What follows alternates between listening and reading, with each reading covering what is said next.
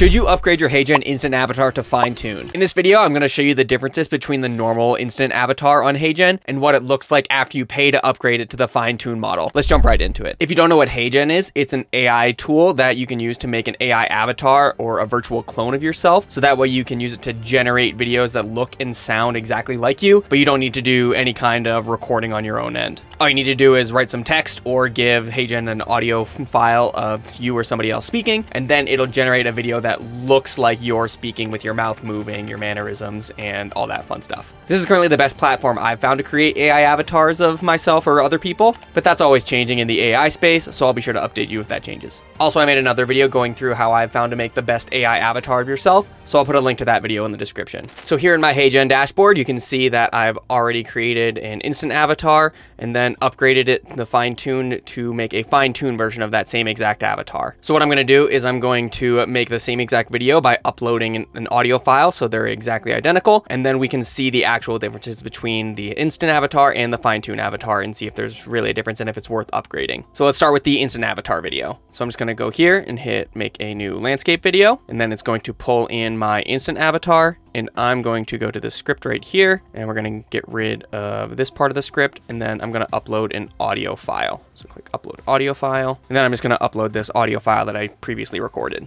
And I'm going to give it a name. So we're just going to call it something like instant avatar demo.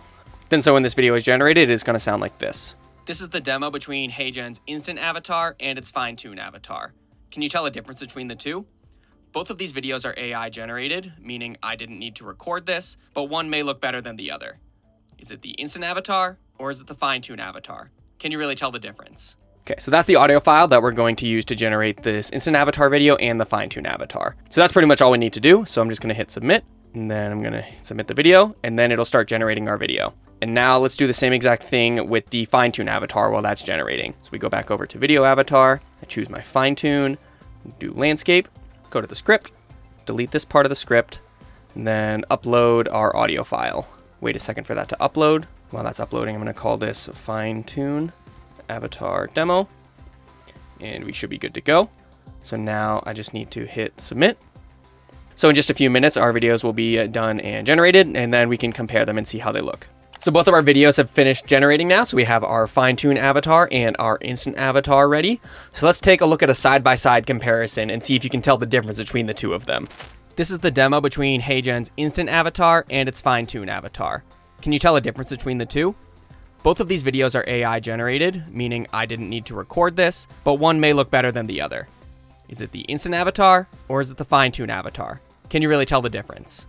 It's pretty incredible how good both of these avatars are. Like these are both AI generated videos. That's not actually me speaking. And yes, it, there are a couple little quirks, but it's insane just how fast the technology's gotten to the point where it is today. And this is the worst the technology is going to look. So just imagine what it'll be like in a year. With AI generated video right now, there's still a couple quirks. So you could see like sometimes it would have me like doing mannerisms or motions that didn't really match with the words exactly. Um, but I think that'll get better with time. Now for the difference between the fine tune and the instant avatar, I do think there is a difference in the fine tune. So if you go back and look at the mouth, I think the mouth syncing to the words is much better on the fine tune. In this particular case, there was a couple extra little like hand motions and gestures that were a bit quirky, but that's not always the case when you generate the AI videos. So I would probably try regenerating this again and it would likely give me less hand motions.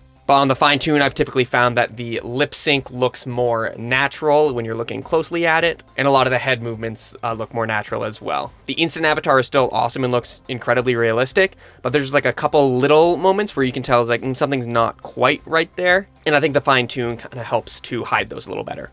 Now that said, do you need to upgrade to the fine tune option? If you're just playing around with these avatars and just kind of seeing what they can do and their capabilities, I don't think it's really necessary to upgrade to the fine tune option. But if you're going to be using these for any kind of commercial reason or like posting to social media or making training videos from these AI avatars, I do think it's worth upgrading to the fine tune for that extra fidelity and clarity in the lip motion. For me, I typically always upgrade to the fine tune option because I run run a marketing agency where I use these avatars for people to make content for them to post on social media. So in that case, I want it to be as good and high quality as possible. But if you're using it in a way where you don't intend to be making money from it, then I don't think it's necessary that you upgrade to the fine tune model. If you want to learn more about how I'm using these avatars to make money and make videos for my clients, you can check out this video here. Or if you want to know the best methods to making your own AI avatars, you can check out this other video. Thanks for watching. Don't forget to leave a thumbs up if you found this helpful, and I'll see you in the next one.